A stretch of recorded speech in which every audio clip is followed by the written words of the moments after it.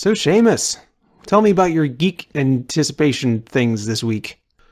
Well, I have a funny story from my wife. My wife was on Reddit this week, and there's some thread about, I, I don't remember what group, it was on some support group for some health issue, right? And somebody hmm. asked, hey, what are you listening to these days? And she replied with, I'm listening to the Wombats. And the two songs she was listening to are, If You Ever Leave, I'm Coming With You, and Everything I Love Is Going to Die.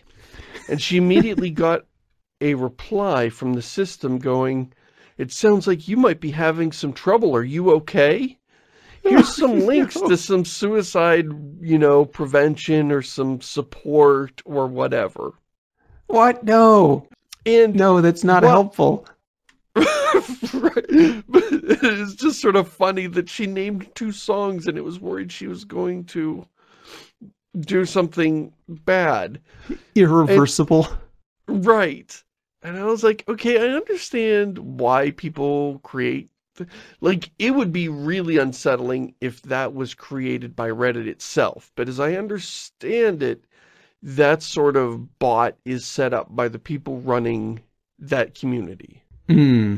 It's still not helpful, though. Right. like like if you there so so like maybe 20 years ago there used to be like suicide prevention billboards all over the place you remember those Uh-huh. do you know why they took them down No. I just assumed the internet. I just assumed, like everything else, the internet replaced them.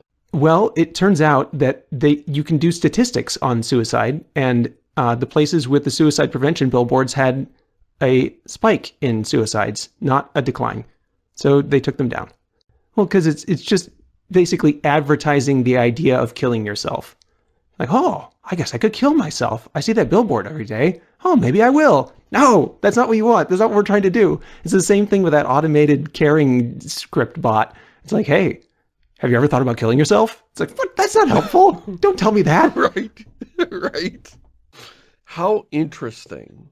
Um, my worry was, you know, I don't mind that the people that run this community set this up. We can argue about whether or not that's smart or optimal, but at least it's a small community doing that for themselves.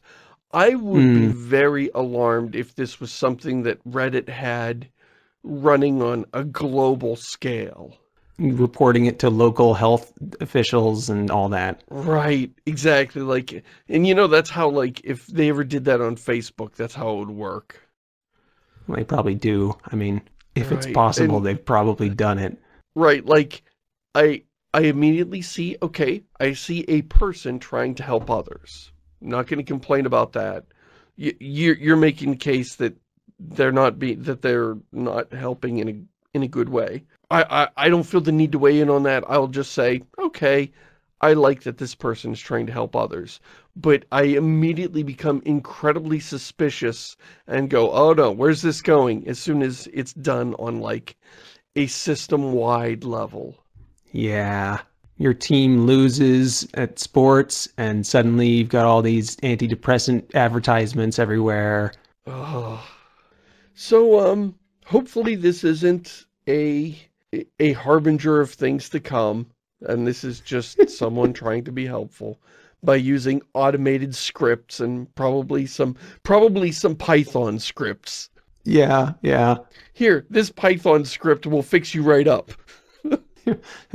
you've got some you've got some problems in your life. I'm sure there's something that that a computer could easily parse and and solve for you. It's just an engineering problem after all.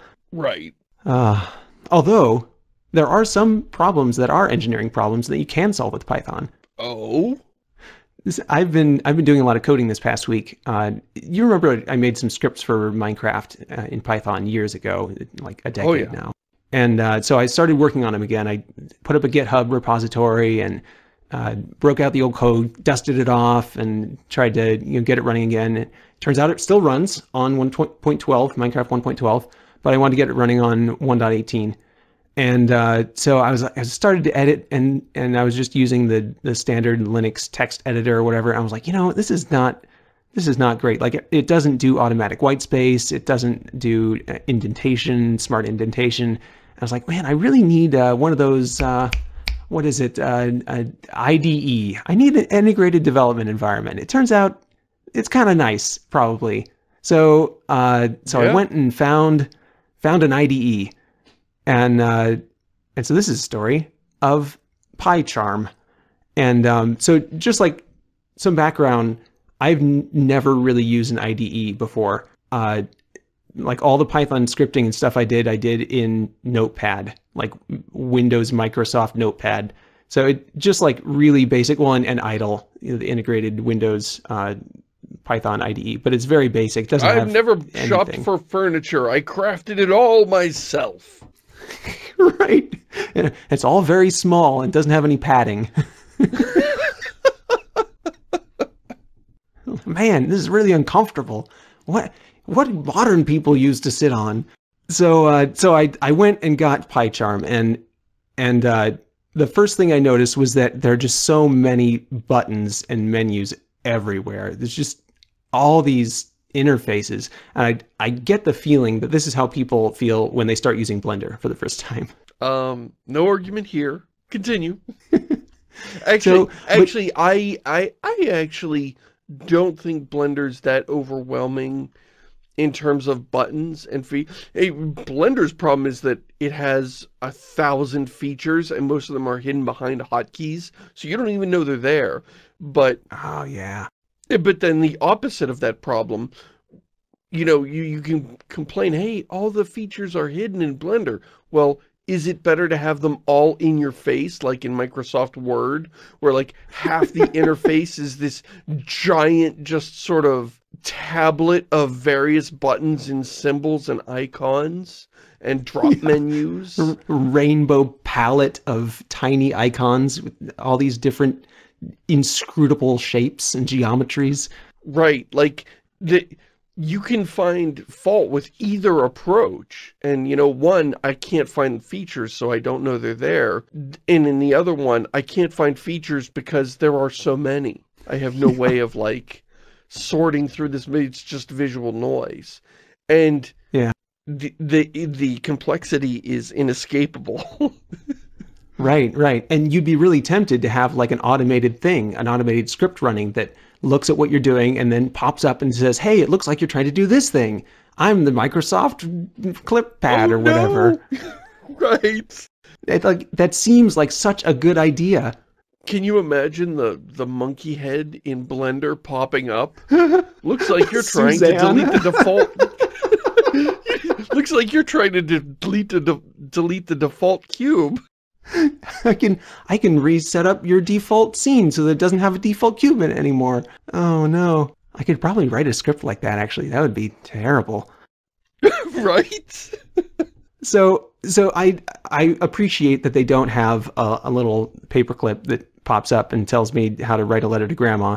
Um, but it was kind of it was kind of overwhelming at first, and uh, so I was I was trying to get so I I put these scripts I designed the scripts to work on files in the Minecraft save folder, and so I downloaded the scripts. I downloaded like GitHub for desktop for Linux desktop or something, and had it create a repository, but it's like, hey, you can't create a repository where there are already folders in it. That's madness. And so I'm like, okay, fine. I made a separate folder so it doesn't have folders in it and create a repository there. And then I told PyCharm, the IDE, to go over there and like get the files. And it's like, I don't know what folder you're talking about. I, I can't find it. And I was like, what? How can that, how can you not find a folder? Like what?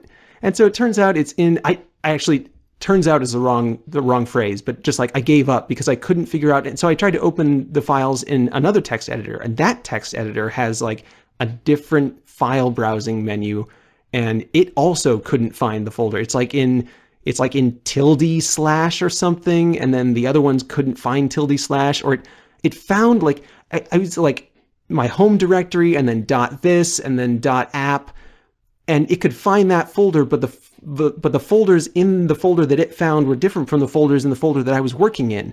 And so it was like, wait, and I, I had both of them showing hidden files, so I feel like they were in like parallel directory structures somewhere.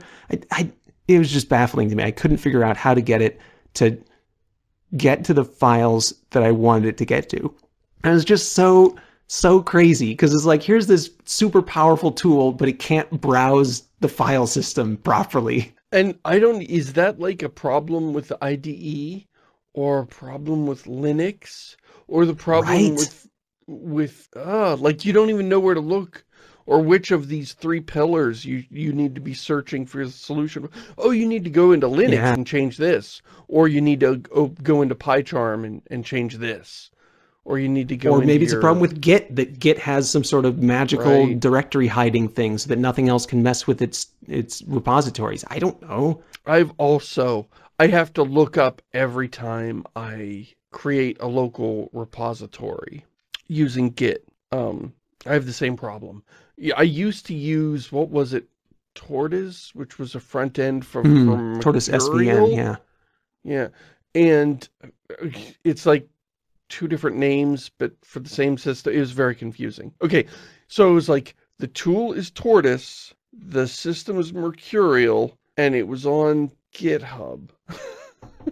And, well, SVN is the is the base versioning system for for that. So like Mercurial is running a branch of SVN, and then Tortoise is the is the like the front end on your computer or something. Right.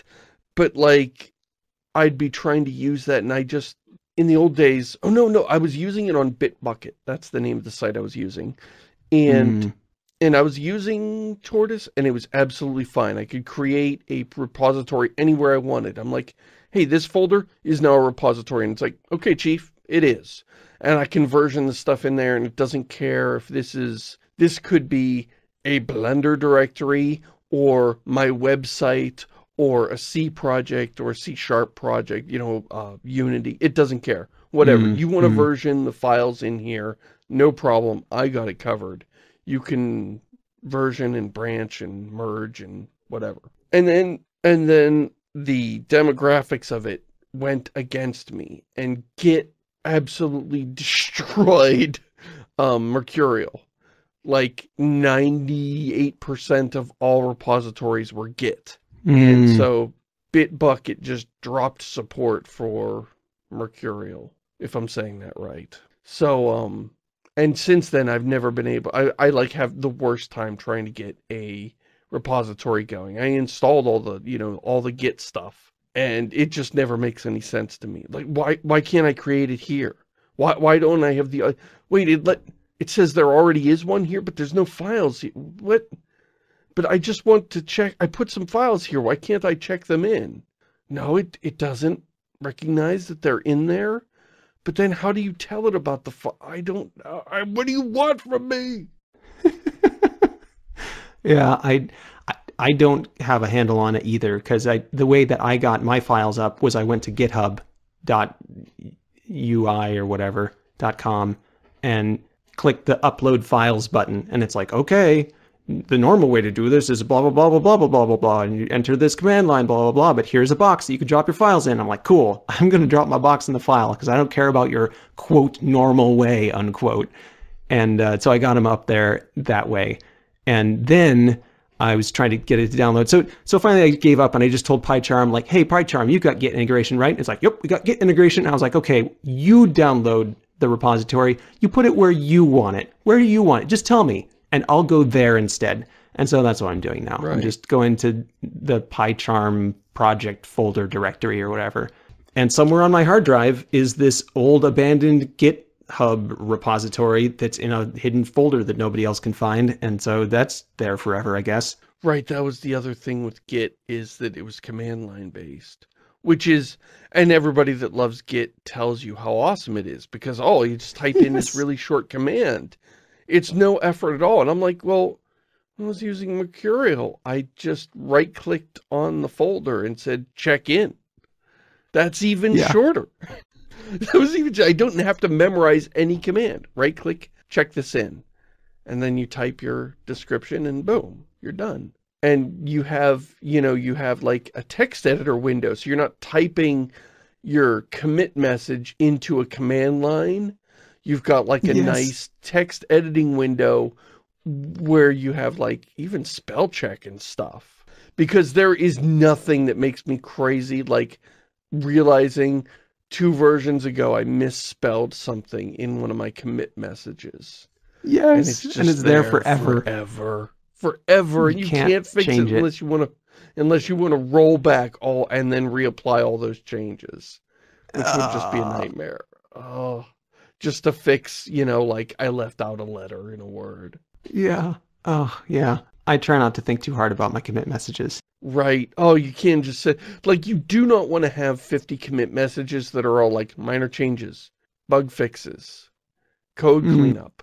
And it's like, but that's a lot of stuff I do. Well, okay, at least like summarize what area of the code I was working on. So I have a hope of finding this later.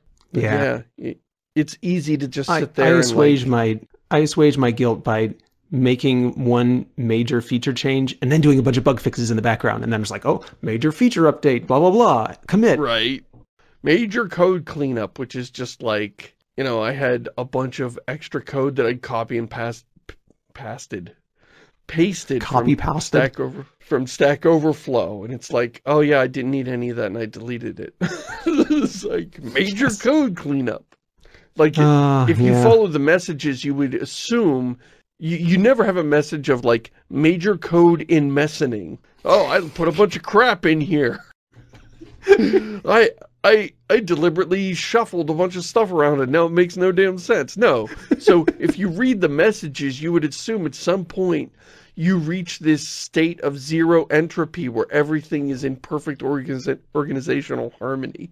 And no, actually every time you add a feature, you're like adding all of this chaos. Yeah. And then you have several Yeah, I'm in the- several following changes. I'm in the middle of doing that where it's like half of my commit messages are like added this feature, did not test. I don't want to We'll know if it works or not. I'm going to bed. We'll test after deployment. Just like you know, like I have to commit at some point. I can't test everything before I commit it, and I, I'm here. Here's where I am. Get and it's fine because no one ever looks at the rest of my code. Like th- I'm the only one this is for. But you know, Right. it, it feels kind of goofy to be like, well, I didn't test this thing. That so so back in the day, ten years ago, when I was uh, developing scripts and releasing them on the uh, Minecraft forums or whatever, um, there was someone who requested a feature, and I was at work, working ostensibly, and they're like, "Hey, can you make this feature?" And I was like, "Oh, I know exactly how to do that." And so I went into my went into my web browser control panel and edited the the Python file directly as text in the browser and didn't test it, didn't download it, didn't check it for syntax, anything. I was just like, I know this is going to work. Saved it, uploaded it. It was already uploaded, right? I was like editing it live on the web server. And then I made a little post and I'm like, hey, uh, here's the updates for you, you know, the version thing or whatever. Uh, I didn't test it, but it should be fine. You know, and went back to actually getting work done. And then end of the day, I went home and I'm like, oh man, I really should test that. And so I uh, I tested it out, and it turns out it was fine. It was perfect. Legend. Legend. Feels so Be good. Proud of that moment. Yeah, I know. It only happened once in my whole life. So so anyway, I, I was trying to get this thing running, and I I wanted to open these files. I already had these Python files. I'm like, hey, just open the file, but it doesn't have a button for open file. It's got like create a new project and like create a new enterprise zone or whatever, and then like open an existing Start a new company. Right, new yeah, IT it's like- department. yeah integrate uh, solutions from the world wide web ecosystem you know it's got all these like the community community contributions project or whatever i was just like "Why- where do i open a file can you open Begin- files here can i speak to the proprietor study. yeah. open Begin- market evaluation. D- do ecological impact survey. right right.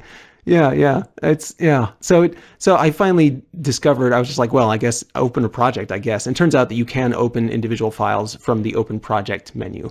And so that that works fine. Um but it's like it doesn't want to be working on individual files. It wants to be managing your project for you. And it's just like eh, it feels bad yeah. and so then I was working on some of the code and I I was trying to get a Python interpreter running just so I could like type in some test code, you know, just like to see what it did, you know, make sure I was remembering the syntax properly.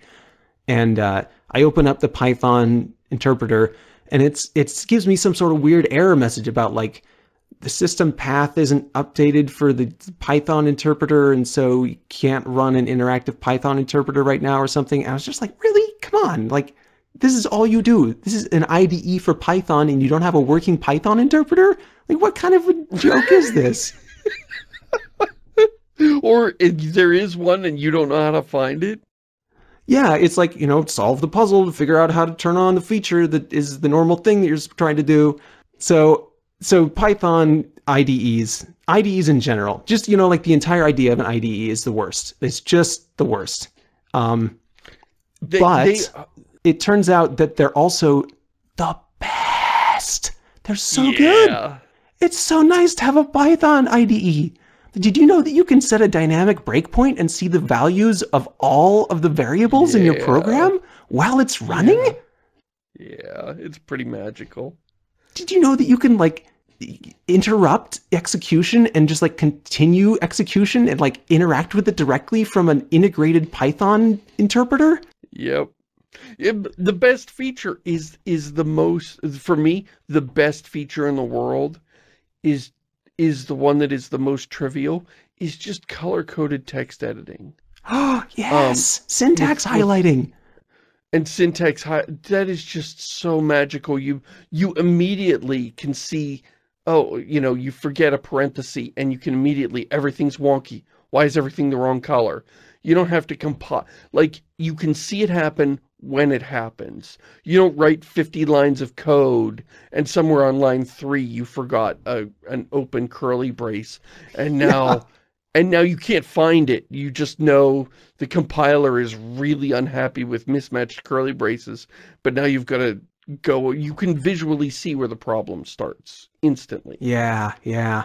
And it does it does PEP 8, which is like the Python style guide. It does automatic PEP 8 in, in uh, suggestions. So like you can write your whole program as like a single line of code or whatever and have like a bunch of weird separators, but it's not recommended. And so when you make a mistake like that, where you didn't intend to leave out the curly brace, but it's technically allowed, you could just like have the whole program inside a curly brace and then run an exec on the whole code block or something crazy. But it'll make the suggestions like, it looks like you left out the semicolon here.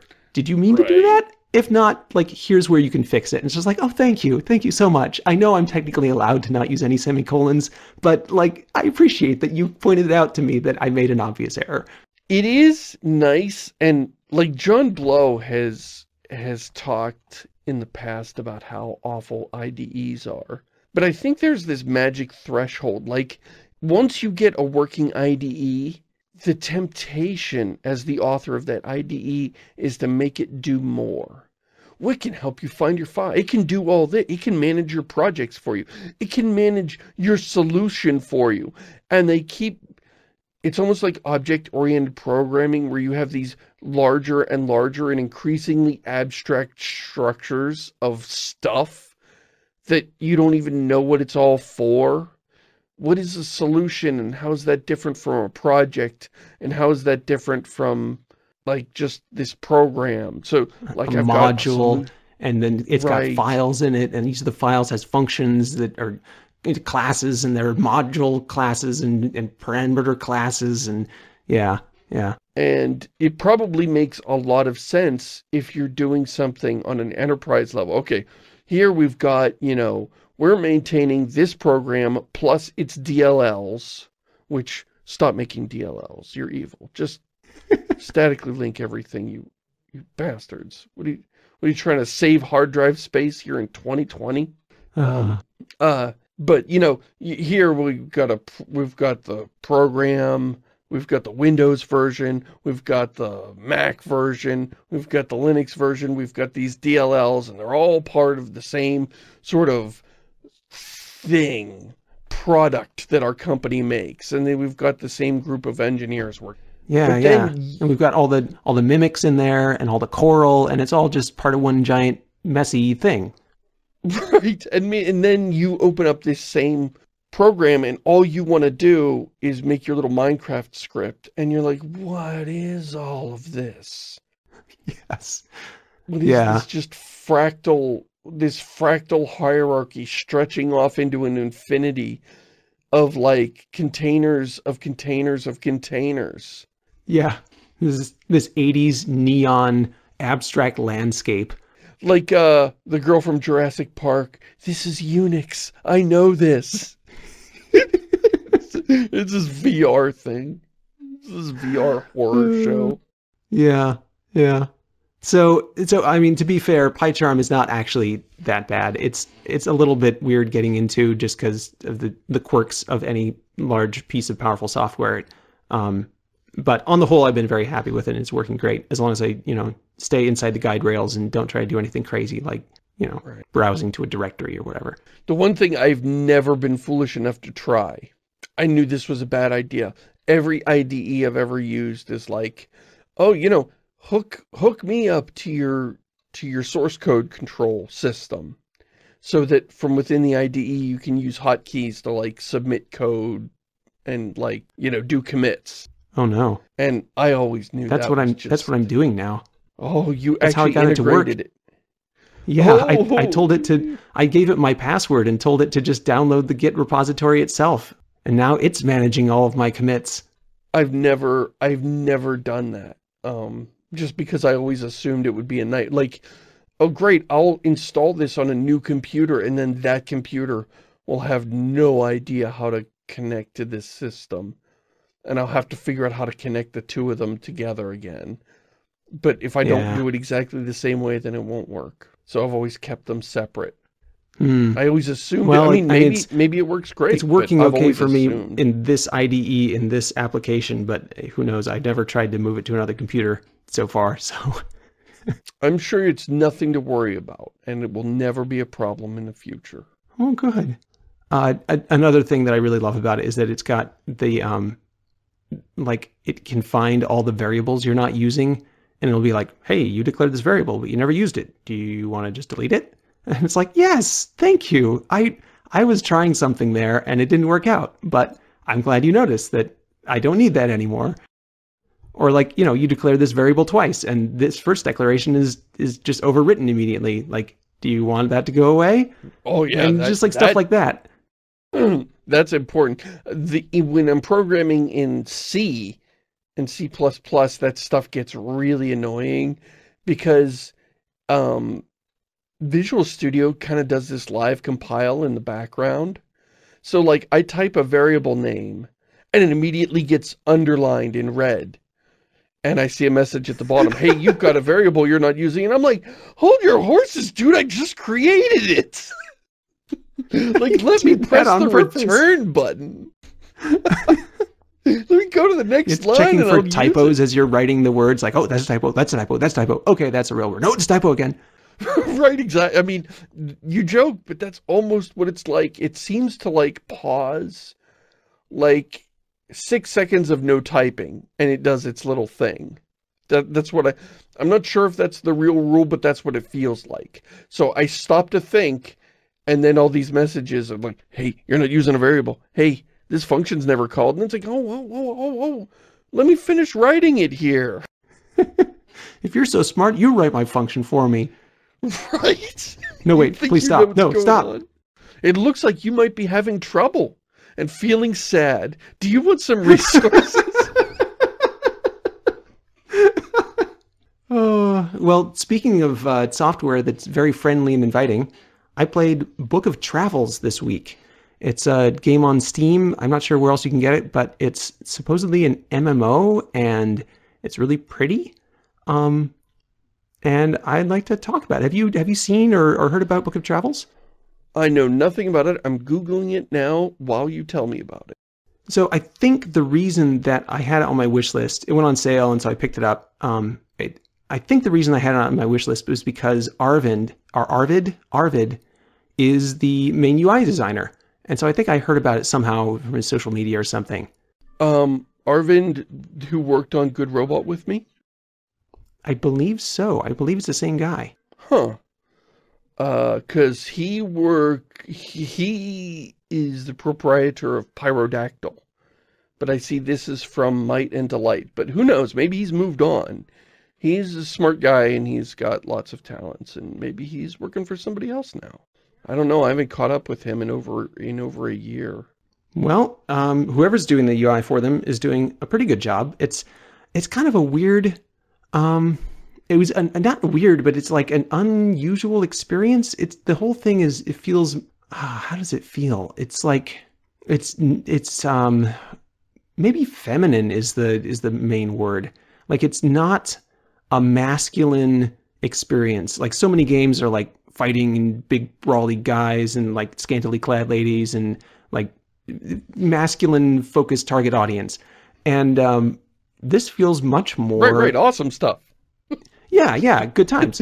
but but like this feels much more feminine, and it was it was interesting. Like just like the the entire mise en scène of the the the whole game is just very different, and uh, and so I I was having an interesting time playing it. I I'm not quite sure what it's trying to do or to be though. Like because the the whole um the whole memeplex of the masculine game is like you want to be the biggest, toughest, strongest, coolest guy and get all the ladies. Like that's and you understand that in intensely and immediately. It's like, okay, I get what what you're trying to do here. I, I understand the goal. I, I understand what kind of things I'm going to be doing and why I'm going to be doing them. I, I've always described it thus. I want to be the biggest badass and I want to live in a world where being the biggest badass will let me solve important problems. Because like yes, in our world, right. in our world, like uh, I could, you could give me all the powers of Batman right now. And what the hell would I do? Drive around town do in my, this? what am I going to do? I can't, you can't actually fix society's problems by punching people in the face. But I would love to be empowered to be able to do that face punching and I would like to live in a world where after I have thoroughly punched this guys in the face the world is somehow better and I have made people safer and and clearly and objectively and visibly improved. Right. As opposed to just keeping the people in the em emergency room employed. Right. Yeah yeah. Oh yeah that's so true. So so like this game is not trying to do that but as a result, I don't really know what it is trying to do. Like, it's so weird. It's clearly intentional, but I don't know what its intent is. And so I, I played it for about an hour and a half, and uh, I walked around kind of slowly and, and picked some flowers and like had some tea, had some nice conversations. Um, I don't know if I'm making progress though. Like, I don't know if I'm am I doing it right? How what's my score? How many gold points do I have? Like what how do I know if I'm doing it right or not? And maybe that's the point. Maybe it's like any way you want to play is fine and you can just do whatever you want. But like I can already do that in real life. I can pick flowers and have nice conversations and tea in real life. Like I don't need a video game to do those things. So I'm just not sure I'm just not sure what it's trying to do. So if anyone in the comments would like to tell me um, just say like, Paul, here's here's the deal. You're totally missing it. Your your autism is flaring up, and you just need to, you know, this is the thing you need to recognize. You need to put some autism cream on that, and just you know, yeah. Uh, yeah. So, yeah. like, I'm watching the very first trailer on Steam, and it has been a solid two minutes of scrolling over the map with a woman's voice talking. Now, I've had it turned down so that I could hear you. So I just hear this murmur of a woman talking in the background while scrolling over a map with place called The Forest of Four, The Verve. I mean, okay, it, it's, it's a map made entirely of indie rock band names. and and the visuals are very nice and they're well integrated. Oh, they're, they're gorgeous. And, you know, stylish. Um, um, I yeah. so I, I felt kind of immersed in the game. So here's here's just like one example of like I'm not quite sure what's going on with this game. So I met a guy and he's like, "Oh, you look like you could use some help. You want me to call social services?" No, he didn't say that. It, it you know, you should go to the real guy or is this a NPC? I I don't know. How would I know?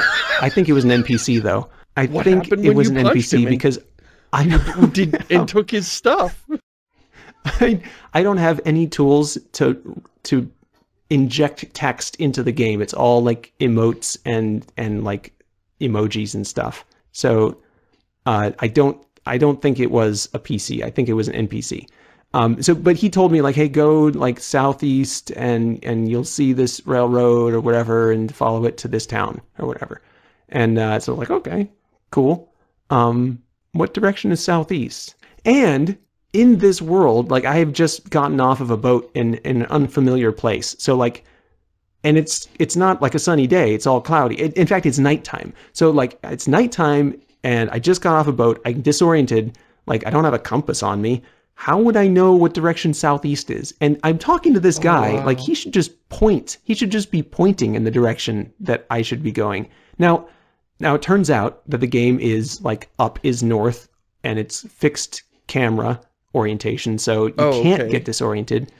But like I don't feel immersed in the game using my knowledge of video games to tell what this guy is telling me to do. Like it's just it was sort of a weird thing where it's like my character wouldn't know what direction southeast is. And oh, right. And the the guy in the game isn't like indicating anything. He didn't put anything on my map. Like I've got a map and I know where all these different places are, but like he didn't he didn't say like go to thing and then like it brings up the map and it highlights the thing on the map. Like that would make sense because then he could be like, hey, look, I'm showing you on the map or I'm just describing it to you and it, you abstract that away into the map. He just like tells me the compass direction. And so I bring up the map and the map doesn't have a compass rose on it. So I have to like infer using my own knowledge that up is north and you know southeast is right and down. Like but there's it was just very strange. It was like it was trying to be too immersive while at the same time like not acknowledging the things that the characters in the game would actually know. It was kept this like mixed up kind of too integrated experience. Well, it, it might help you to learn I or to hear I just watched uh, another trailer, and in the trailer it does show one character hitting another character with a stick, knocking them over and moving on. So maybe, maybe there is combat. Oh, it might not be a yeah, stick, that might be a sword. Is, is the point to never engage in combat? Is the point to engage in combat and lose? Like, it could be anything. could be anything. And then um, I'm, I know I'm going to download this and fire it up. And the first guy I meet, he's just going to ask me to bring him 10 boar asses. that's right. That's right. Uh, yeah, I, I haven't got any fetch quests yet, or none that I recognized. Like it's it's so strange. It's not it's not strange in a bad way. It's just strange in a foreign way. Like it it feels like a very foreign video game, like a like a video game made and maybe it is is it made in india maybe it's made in india by people from india or something like it just but it's all in english like it's so it's so weird because because as a character in the world i should as a character my character should be familiar with the customs and and forms and methods by which people communicate their desire to each other like i want this thing i want you to do this thing the character should already have a working embodied knowledge of all that stuff. And so as a player, I should be directing the, the character. But I feel like this game is like asking me to become involved in the world and to like understand all of its customs and its history and stuff. And and like character creation is very involved and it's got all this stuff about role playing and like your your all the different aspects of your personality and and but like I don't I don't know who this person is. Like I've I can read a book about them, but reading a biography isn't the same as actually being that person. And so it's it's just it's kind of a weird maybe they're attempting something that's too difficult or or or that they haven't attained yet because this game is still in development. So of course it's possible that like they're trying to do something they're laying the groundwork for it and they just haven't got to the part where it all comes together. But it's a very it's a very foreign kind of really alienating experience despite being very welcoming. Like it's a very welcoming game, but the experience of playing it just felt very alienating. Interesting. Oh, this is by the same team that made Shelter. Shelter is a game where you're a mother cub taking care, or you're a mother badger taking care of her cubs. I saw this years ago. It was on my mm. wish list for a while, but then I, I don't even remember why I took it off my wish list. But So I've heard of this studio before. How interesting. Hmm. Hmm. Yeah. Yeah. It is an interesting game. All right, let's say we do some mailbags. Yeah. Dear Diecast, listening to great video game scores got me wondering, what would Shamus and Paul think are the best games when it comes to their sound design, scores, and the alchemical result of their fusion with the visual design, gameplay, and or the game subject matter? Um, and then this person has some suggestions. I will not pollute the conversation with their suggestions, just so that we, we don't necessarily follow their same line of thinking and we go off on our own. Any games that stand out as particularly impressive or be bewilderingly incongruous to you in these areas? All the best, Andrew. So, do you have any games that you think are notable in the area of sound design or score?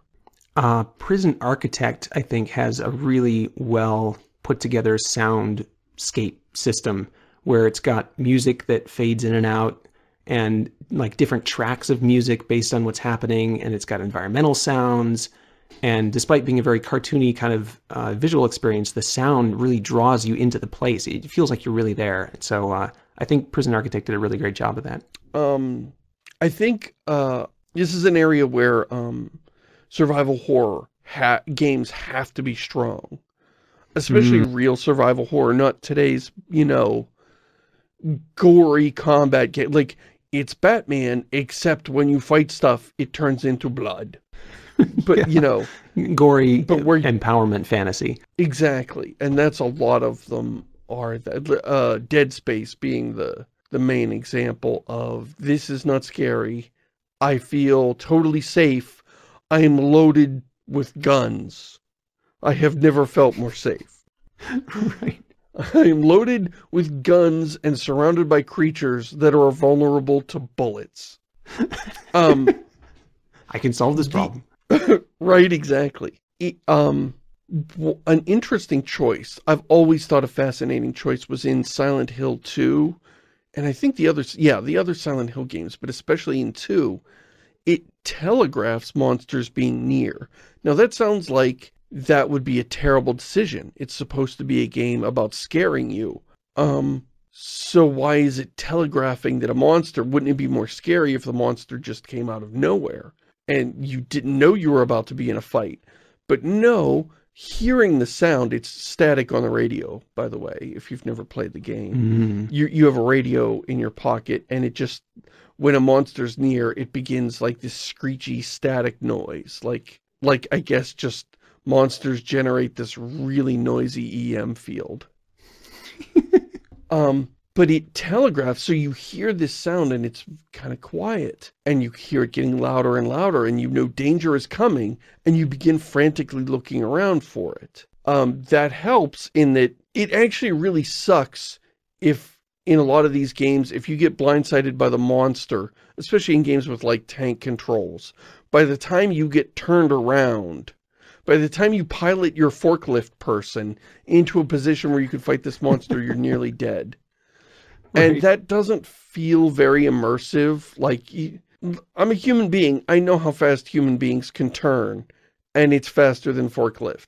Right. And this so, isn't a skid steer. Right. And so it just feels wrong and awful. And instead of being scared of the monster, I'm frustrated with the controls. But when it's telegraphed ahead of time, I'm very likely to be looking around frantically and I will have several seconds of anticipation before the fight begins. Because once the fight begins, it's all muscle memory, right? Mm. The, the anticipation is where the fear really happens. More so, like a jump scare is just that quarter second of, of time. But dread can last quite a bit of time building up to a fight you know is coming. And right. I, to me, that's what always made Silent Hill so much more powerful than its contemporaries. Um, bad sound design, I would say, is Skyrim. Okay, I know the, the, the Dragonborn song is boss as hell. Okay, that's great. But like Skyrim is so mute. There is so little to that soundscape um, one of the first mods I download is just something to make it so that caves have echoing wind howling through them and dripping water and forests have creaking trees and wood and bird calls because otherwise it's just like the whole world just, are my speakers on? like, Right, I'm not hearing anything. this isn't what it's like to be outside. I'm familiar Right. with it enough to know. Right. And so I've always thought the audio design in Skyrim was actually pretty terrible. And opposite that would be um, Half-Life 2, which is amazing. Every area seems to have its own voice. From Mm, the, the dripping of the the canals to to um like the windswept weird highlands echo. along the highway and and the echoing of Nova Prospekt, like, wow, you just feel like all the sounds bouncing around inside of that prison.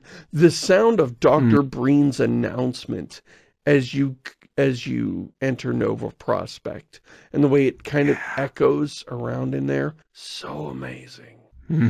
Soma, that's an interesting one. I saw you type that into the document here. I can't remember. I, I'm not saying that I it's not memorable. I just I'm not remembering Soma. I think I think it was on spoiler warning and Josh was playing it, but I remember that the sound design was it seemed pretty good. Like it had uh, it had a lot of ramp up when you're near the weird um, horror monsters or whatever, and uh, you know all the underwater sounds when you've got your helmet on and stuff. It sounds like being in a scuba tank or whatever. Huh, I've evidently forgotten a lot of that game. A lot of the underwater games are, are pretty good just because it's not too tricky to make something sound like it's underwater. Like there are some filters you can run all the sounds through Right. to make it sound like you're underwater. Right, So like right, um, just a big old Subnautica. filter. is yeah yeah It's Subnautica works really well. You know, and you add some breathing sounds and it's like you're set. But it's like it's really effective and it gives you that feeling of being you know underwater. So uh, a lot of those games are are really good. I think Minecraft probably has pretty bad sound design. Honestly, like Oh, I have it's to not- agree. it's not impressive. Um, it's No, got it's some very nice tunes, but the music doesn't really fit the like the scene very well. I, I don't think it's. I think it's just like it plays some random song, and then you know at, at dawn and at dusk it plays a random song or whatever, and then like it, there's no there's no cave sounds, there's no reverb, there's nothing environmental there's right. monsters, oh, but and but like there's no attenuation for hearing them through walls and stuff. So like you could be in a cave and like, oh, I hear a zombie. Is he in this cave or is he in the next cave over? Who knows? Yeah, I, I would agree Minecraft is generally terrible. Well, the, the shame of it is Minecraft and Skyrim are very similar. And I can forgive it in Minecraft, which is pro, a proc-gen indie project, and it is much less forgivable in handcrafted AAA Skyrim to have Mhm. sounds like, I can't tell how far away this person is, or I can tell how far away they are, but they're not attenuated. Oh, you're on the other side of a door, or oh my goodness, we're in this giant hall and our voices are echoing everywhere, or we're in a very close space. Yeah, it's just like Minecraft. It's just Mm. sound is sound, and walls don't have no effect on it. Dear Diecast, with all the hardware shortages and no end in sight, do you think the big studios will have to start reining in their bloated game dev costs? How can they afford to keep making a HD++ game when nobody has the hardware to run them? Sincerely, Craptop user and late gen adopter. And, uh, thank you, Mr. User. And, dear Diecast, between crypto mining and certain global crises, the price of graphics hardware is currently rather high, and the same goes for RAM. Between the high costs of the opaque naming schemes, I feel like building your own gaming hardware is not very accessible. Do you think this will cause PC gaming to lose out in popularity compared to consoles? Of course, neither can hold a candle to mobile gaming, but I would be interested in hearing your thoughts. Vale, Tim. Thank you, Tim.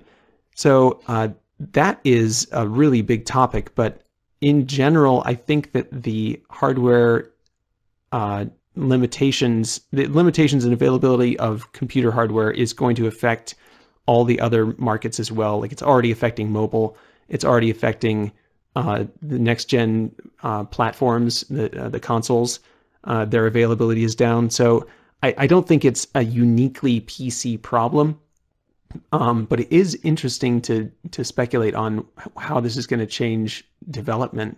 As for the PC versus console thing, I mean, the standard for the last 20 years is that consoles are very strong early in the console generation.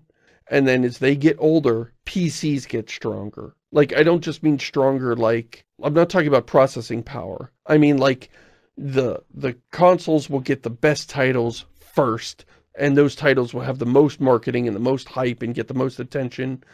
And then late in the console generation, when the consoles are getting a little slow and a little long in the tooth, all the interesting stuff will be happening on the PC, and that's where all these exciting technology will be. So, you know, people will be be paying attention to that. Oh, here's this new thing. Oh, look, it's ray tracing or VR or whatever is going on. All of that is going to land on the PC first. And so people will get excited about the PC and talk about the new stuff. And those games will get a lot of market, will get more marketing and PC ports will be of higher quality. So it's sort of like a pendulum to me. Mm. Um, as for will they rein in their their bloated game dev costs? I can't imagine. This has been going on for 20 years. yeah. I mean, if they haven't stopped now, why, you know, nothing before this has slowed them down. So why would they start now? Yeah. Yeah. What Playing, would they pursue playing the latest instead of? HD triple plus game isn't about the absolute graphics. It's about how much better your computer is than that other guy's. Right. If they're going to pivot away from um, graphical fidelity, they need something to pivot to. And they don't, they've never had like, uh, uh, on the AAA level, on the management level of AAA companies, they don't really understand anything besides that, But that and story. And I, I, I think they've given up on story. So like, you know, oh, we're going to really focus on gameplay mechanics and loop and feedback loops and and um, depth. And no, I mean, that, that hasn't been a focus in years. If anything, games are getting dumber as more of their challenge gets taken out of the game and more it's more about paying to beat the game. Mm -hmm. You know, pay for microtransactions and stuff. And every time you add that, you're taking skill out of the equation. You're taking some of the skill out of it so that you can drive people to buy your stuff. So, like, it would be weird that they start pivoting towards gameplay now. That, that goes against what they've been doing recently. So yeah, I even if they recognize that chasing graphical fidelity isn't really paying off, I don't think they know how to spend their money any other way. I don't think they they know how to set up other priorities other than, you know, a few stand out, you know, FromSoftware and um, other companies. Zachtronics. Sure, sure, but I'm trying to think in the AAA space. Like I was going to say. Oh, yeah. I was gonna, I was going to name the Batman developers, but one, I can't remember their name, Rocksteady. But like, all of that stuff's being slowly digested by the microtransaction creature. And, you know, those games are, are getting worse mechanically. Yeah.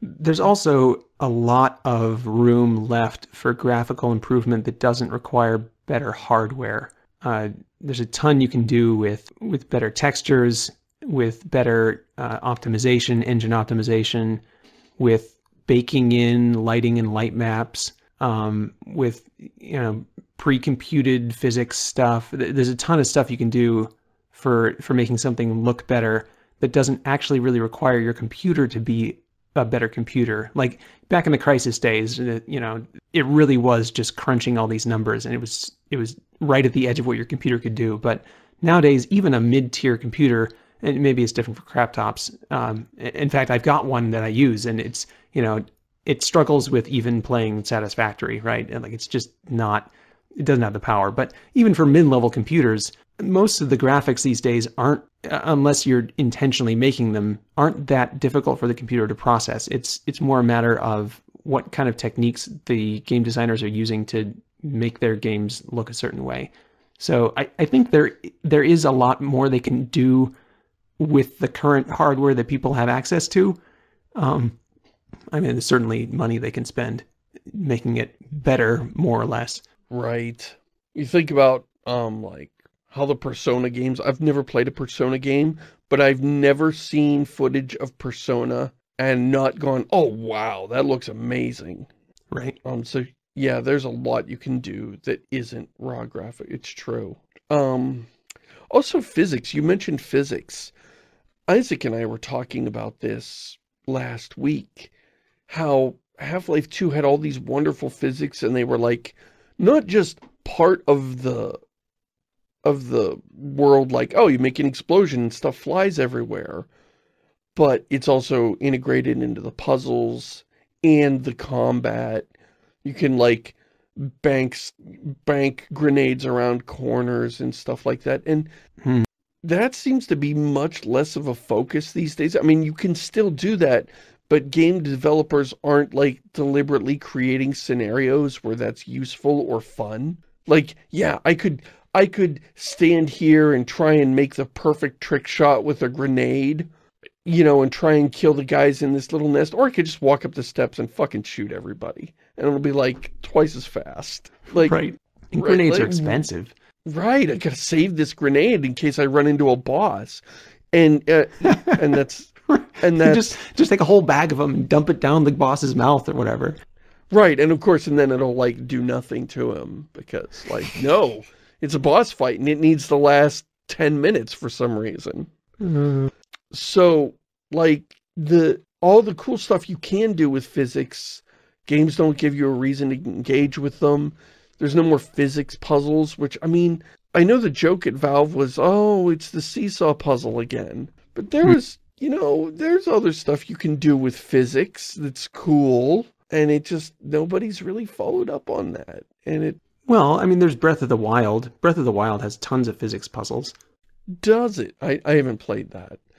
Um, And there's There Noita. is- Noita is all about physics sim. once again, like, I I'm thinking like the Ubisoft games, the EA games, the Activision games, the other AAA studios, like, their games are just Hmm. run up the stairs and shoot everybody. You don't get How about that. Football oh. Manager? That's basically a physics sim, right? One physics object. Right. As I understand it, Football Manager is actually just spreadsheet simulator. Like, there is no... Football Manager, you don't actually get to play football. It's all the What? stats. Yeah. No. Yeah. I'm serious, look at the screenshots of the game. I've never seen one that had a football. Yeah, I've never in it. seen one either. Uh, well, I've never seen one, so maybe that's that's. I was I was misled the whole time. I thought it was like Madden or something. No, no, apparently it's not. That's FIFA. FIFA, Oh, you okay. play football. In football All manager... right, well there you go. FIFA Yeah. physics sim game. Right, there's one physics object in the whole... in the whole game. You don't have to solve the three body problem. it's just... It's just a ball. No, it's rounder. Um, it's... Yeah, I, I don't I don't know. It feels like there's a bunch of stuff they could be doing with physics that they definitely are not. Uh, remember back in the late 90s, early aughts, we had uh those games set on Mars that had destructible environments? When was the last time we had a single player game where you could Oh, destroy yeah. walls Red as a means of yeah, destroy walls as a means of progression. That's not a thing anymore. Well, I mean, so so like you said, it kind of moved into the indie space where the technology was available to indies, and so the indies are all doing fun stuff with it. Um, but it's not really a it's not really a AAA kind of experience, I guess. Right. What was that uh, Star Wars game where you had the lightsaber? You could like dynamically cut stuff up with a lightsaber. I know you're not talking about Beat Saber. No, but uh, there's there you go. It all went into VR. Yeah, job simulator. VR's got tons of physics stuff. Physics is fun in VR. Maybe it's just that we're looking at the wrong the wrong genres.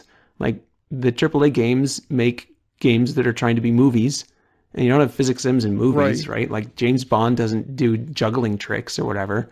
He's all explosions and shooting dudes. Right. I mean, I made all that jokes about earlier in the show about I want to play a game where I can just, you know, make the world better by killing everybody. But like, I mean, that's obviously not true because P AAA studios have been doing that for for years and they're boring the hell out of me. Like, oh, oh, I get to shoot all these dudes, but I can tell they're bad guys because they're wearing black. Uh, yeah. I just, I just want to play a game where I'm playing Fix-It Felix from Wreck-It Ralph, and I can just like fix stuff by smacking it with a hammer. I guess I just want to play something that's a little more mechanically interesting, where it's like, yeah, I could shoot these guys if I wanted to kill them in the most boring way possible, or I could kill them by orchestrating the destruction of the building that they're in blowing out the load-bearing pillars and crushing them and all and you know bringing down the building or burning it down or or whatever you know. Yeah yeah the incredible machine massacre edition. Right. The incredible machine now filled with nazis there you go because I don't want I don't want to be challenged. I just want it to feel very easy to just murder tons of people. So just tell me they're alien, space aliens, or Nazis, or zombies, or whatever, and then I can kill them without thinking about it. Wolfenstein 6, The Remarkable Contraption. that sounds like the name of the game launcher. How do I description launch of the game launcher? You're right. How do I launch this friggin' Okay, here I can buy some DLC or upgrade to the special gold version. But how do I launch the game?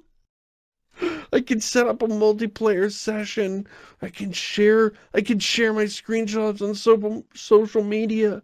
But what part of this contraption allows me to launch the game in a single player environment? You have to you have to get enthusiastic consent from the game before you can launch it, Shamus. Well, Paul, I feel like we've done a show. Still got some mailbags again. We're, we got it. We got it in a groove. Thank you to everybody who's sending questions. Great questions this week. If you've got a question for the show, our email is diecast at ShamusYoung.com. Thanks for listening, everybody. Say see you later, Paul. What? No, I can't. Yeah. Ah.